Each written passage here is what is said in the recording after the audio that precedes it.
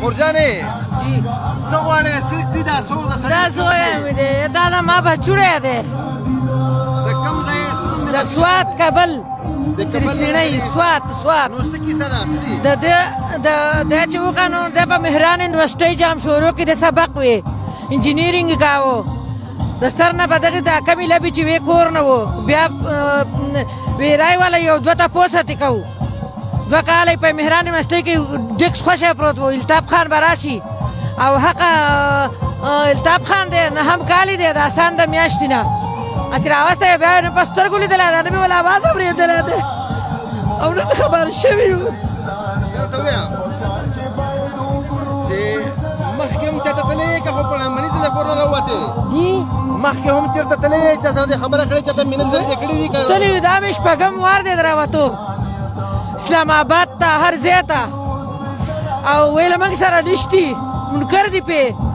څوک یې نه مني نه دا پوځیانو ججانو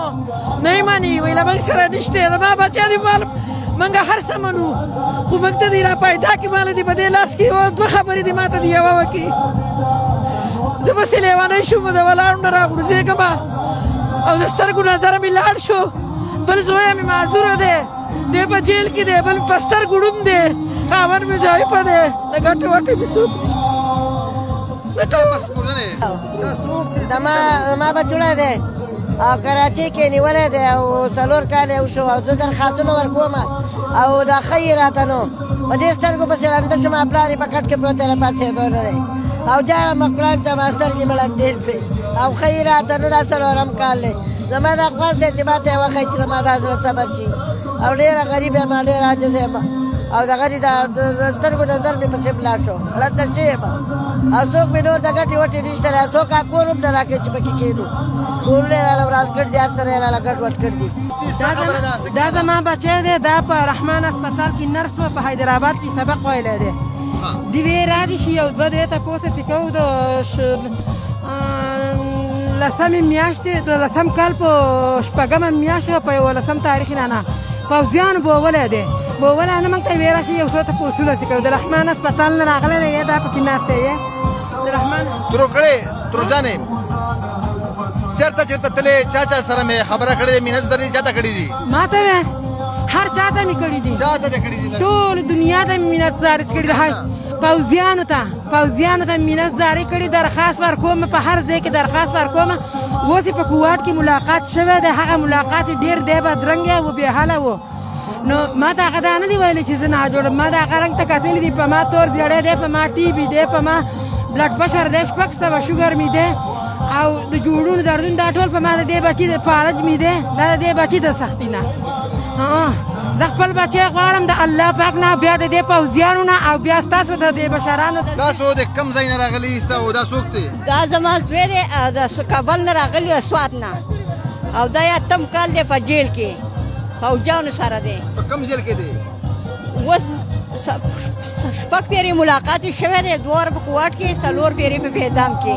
په کوټ کې بچرتا په کوټ کې په پیدام کې څلور پیری په پیدام کې شه دوه په کوټ کې شوه دی او اوس د کلي په شکایت باندې دا دویم کال دی درېیم چې پته یې نه لګي پلار یې له دې غمه مړ شو د دې بچي د غمه پلار مړ دی اووه تنه یې خویندې دي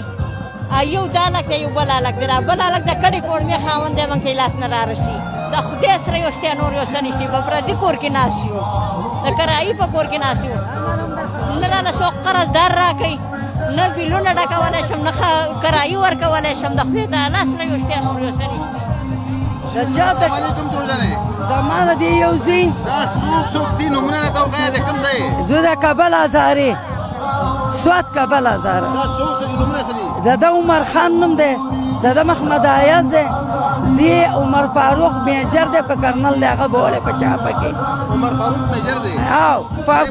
هغه په چاپه کې نیولې د بل چا سره او لس کاله وشو نو ما بچي ما ونی ا دا یو می د سکول بچی دی چې څوک وایي موږ د سکول په بچو خپه کیږي نو زم چې ټول دې مړ شو مله سوخته لګي دا ماشوم په سویم کې و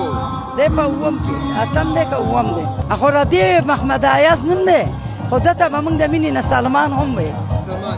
سلمان او خو ما ته ډېر تکلیف تېر دا اته کاله وشو دا لس کاله وشو او دا پاسپورټ دی او دا د جات د ټیکټه پورې سامان پروت دی وای ګورئ او په دې حال کې زه په ماټر ګوله ولګېدم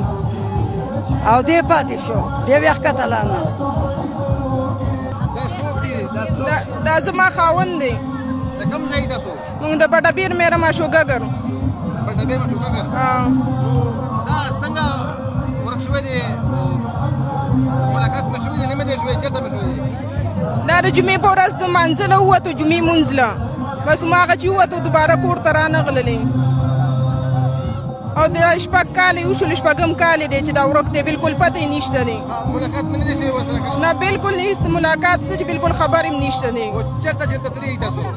من بالکل ګرځیدلی نه زمون کور کې سره سړی شته دی نه نور مسم دا یو خاون میو د مور یو زوی دی و خويندې دي او پلار مړ دی نور ترونه نشته ماماګانې نشته یې سوګیم نشته دی نور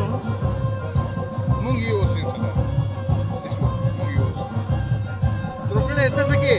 زما رور دی د دې خاوند دی زما رور دی دا مې وراره دی د پلار د ګیریدو نه پس شوی دی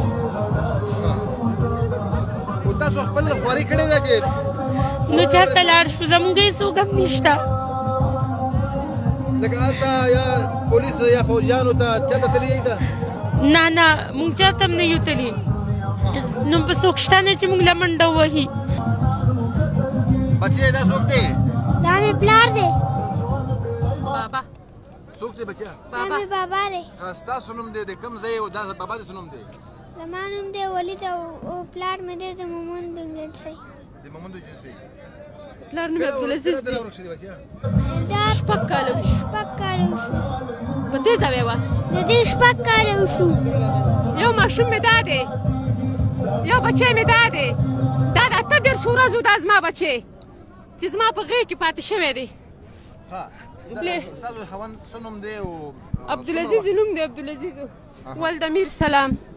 شپږ کاله وشو چې 2013 جنوري 25 کې د پېښور حیات آباد نواب مارکیټ نه لاپته شو ایم آی والا اوچت کو دی د پسې زه ډېر وګرځېدم ړه مې وچاودو خو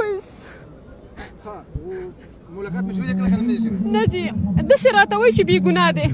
دوه کاله مخکې را پسې د ډیفنس نه ټلیفون راغلی و ویل ته د عبدالعزیز کور والا خبر کې ما ورته ویل او جی بس بیبي ته دعا کوه مونږ انشاءالله په دې هفته نیمه کې در پرېږدو دوه کاله د دې خبرې مو شو هغه هفته نه تېرېږي دا څنګه انصاف دی یا الله موږ ډېر حیران یو تاسو امید مې جوړ شوی دی چې د پښتنه ماشومان راغلي دي ان شاء الله ما ته خو داسې ښکاري چې منظور پښتون د مظلومانو دعا ده او د عمر رضی الله عدالت دی ان شاء الله زمونږ دعاګانو به ان شاء الله رنگ راوړي او راوړو ان شاء الله